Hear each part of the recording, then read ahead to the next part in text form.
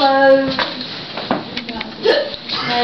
yes, yes, yes, yes. I she did. Yeah, not the fact that he asked. I mean, it's the fact that he tried to throw it in my face. You know? Y'all are not very interesting. who cares? I birthday with him. I'm Let me just tell you. This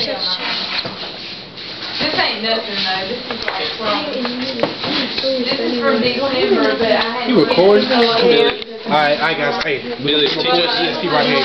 Teach us This This ESP business, okay. Alright. Uh,